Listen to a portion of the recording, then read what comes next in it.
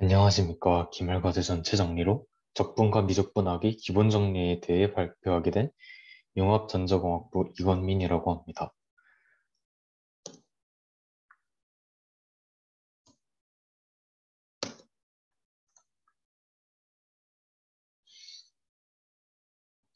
첫 번째 미적분학의 기본 정리, 두 번째 적분, 마지막으로 삼각함수의 적분의 순서로 발표하겠습니다.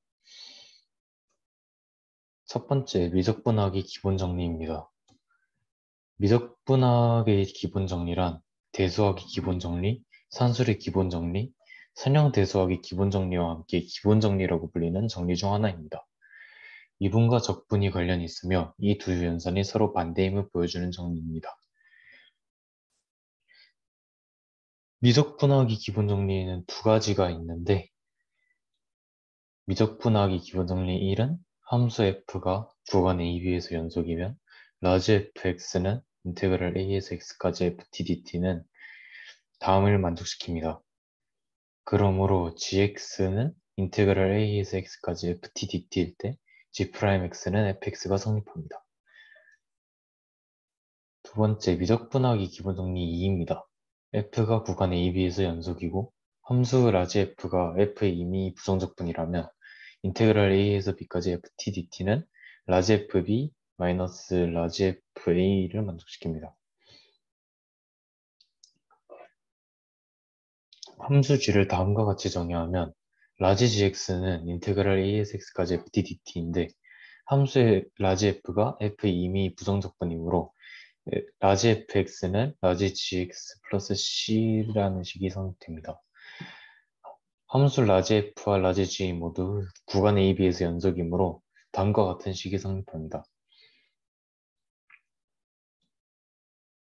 두 번째, 적분입니다. 적분이란 정의된 함수의 그래프와 그 구간으로 둘러싸인 도형의 넓이를 구하는 것입니다. 정적분은 구간 AB에서 fx가 0보다 크거나 같을 때 fx의 그래프와 x축, x는 a, x는 b 사이의 넓이를 구하는 겁니다.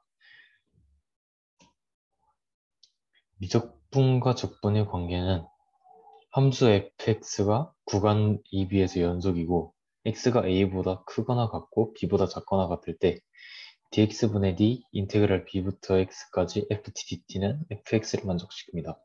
이미 미분이 된 함수를 적분하면 적분상수 c가 붙습니다.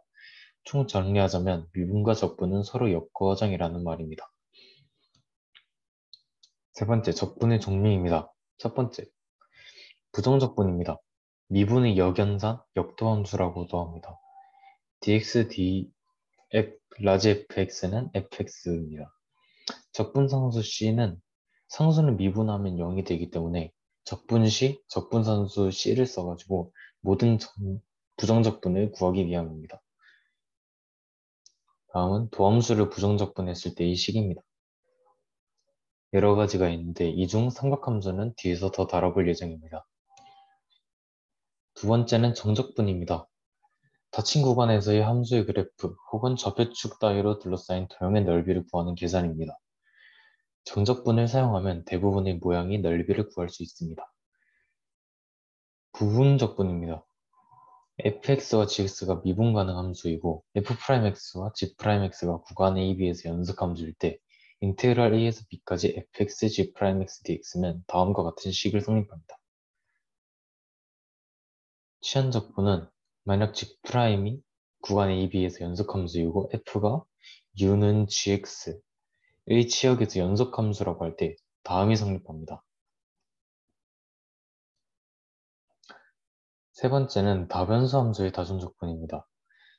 dx에 대한 직사각형의 넓이 합으로 계산되었던 적분처럼 dx, dy에 대한 막대기 부피 합으로 다중적분을 표현하는 것입니다.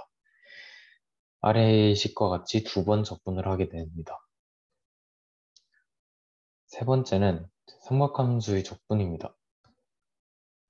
일반적인 삼각함수의 적분입니다. 저희가 많이 보던 그런 식들입니다. 두 번째는 제곱이 달린 아, 여러 가지 제곱이 달린 삼각함수의 적분입니다.